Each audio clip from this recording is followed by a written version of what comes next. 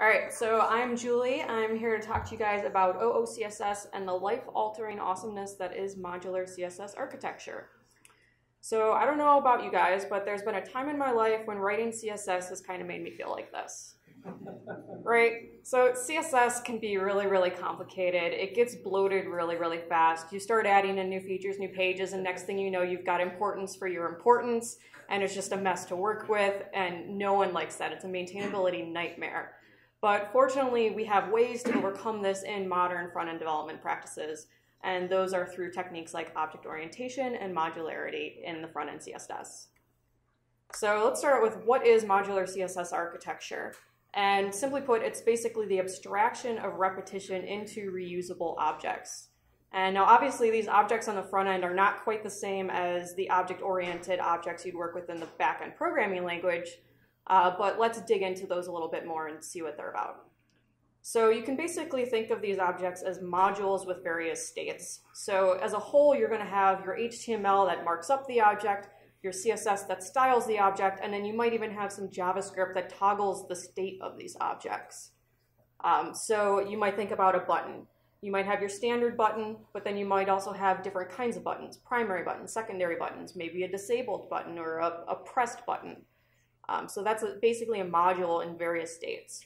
Now, one of the keys to composing these objects on the front end is the use of classes. We heavily rely on classes over any other selectors because they give us the flexibility with uh, specificity that we need to do this. Um, and this ties directly into naming conventions. There are a lot of different modular systems for the front end. A lot of them have their own kind of preferable naming convention, and there are sort of two sides to this argument. It's highly debated, so definitely look that up on the side. Uh, but the two sides are semantic and presentational. So semantic classes directly describe the content of the object itself. So things like content, news title, call now. That's exactly what the thing is. On the other side, there are presentational classes, which are things like grid call nine, a nine column or a nine grid column. Uh, button small says the button is literally small. That's how it's actually visually represented. So there are a lot of awesome things that you get out of using a modular system like this. Obviously, the first one is modularity. We all love to be dry in our in our code, and modularity. If you do this correctly, you can actually create a new page without writing any new CSS. It becomes that flexible. Um, so it's very scalable, it's predictable, and it's really just freaking awesome, right? So as we move into this object-oriented CSS uh, way of doing things, there are sort of a couple of ways, a couple things to think about. So you've got your object as a whole, and we'll use a media object for an example here. And if you're not familiar with the concept of a media object, think about a Facebook status line. Every one of those statuses is a media object. So it's going to be the picture on the side and then the body content next to it. Um, so the object itself would be the media object, the media class. Now, on top of that, you've also got parent-child relationships here. So within your media object, you also have a media image. You also have a media body. Now notice we're referencing these with class names so that we don't have to, when we write our CSS, say media space h3, right? That's increasing the specificity. So when we do this, we can be a lot more flexible like that. Now the third side of this object composition is the modifiers and states. So we want to be able to say, I want a media object, but I want to be able to put multiple media objects in the same row rather than stacked on top of each other. So maybe we throw an inline modifier on that class. Um, alternatively, you could also modify the nested elements within. So if you look at the last example, media image right, we're saying instead of that image being on the left side like it usually is in the status line, let's move it to the right. So in OOCSS, there are sort of two main principles that you're going to want to work with. The first one is the separation of structure from skin, and the second one is the separation of container and content. So let's look at the first one. Um, so if we look at this image up here, we've got six buttons and they all look roughly the same, right? The only really difference there is is the background color and the, and the text color. color. So what structure versus skin says is we want to define the repeating visual patterns as reusable skins, but define the repeating invisible patterns as reusable structure. So in this case, we can take our button structure, things like the border radius, the display properties, the font size, padding, everything that makes the button generally look like a button, and give that to the button class. That's all the button class is going to handle. Then we can create additional classes like button primary, button success to handle actually applying that color or that state to the button.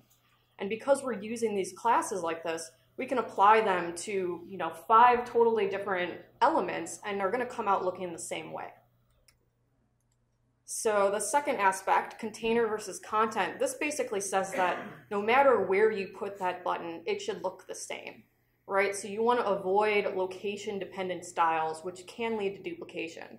So if we look at this example on the right side, imagine you have a list of categories and in between a couple categories you have a header. Maybe it separates the category types.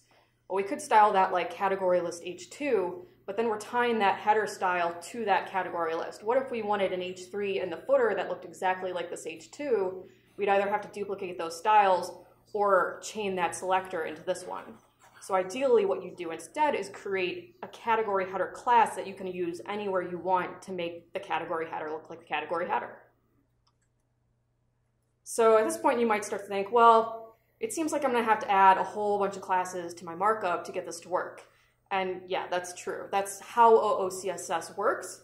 There are other modular approaches that try to avoid this, and they more often rely on that presentational class that you, that you saw before. So is this a bad thing? I don't know. That's kind of up to you. It's your preference. It's which modular architecture do you want to go with. Uh, but then it comes down to semantics too. So some people are really opposed to presentational classes in their markup. They don't think they're semantic, but others would argue, well, classes don't have any semantic meaning to the browser. The browser doesn't, doesn't care what the class is. All it does is look at it and match it up to the styles that it works with. The only person or entity that classes have semantic meaning to our developers. So you can go both ways, but I highly recommend just Googling CSS class semantics and reading all about it because it's, it's kind of highly debated and crazy.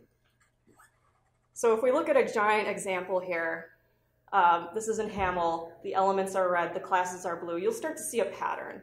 We're repeating our media classes all over the place here and combining them with other things to generate this list here that we see the picture of. So you can start to see how extensible this is and how you can kind of just combine things and mix and match classes to create very, very dynamic and varied looks to things. So hopefully by this point, you're thinking why you know write OOCSS instead of WTF CSS. So that's it for me. Check out Girl Develop It.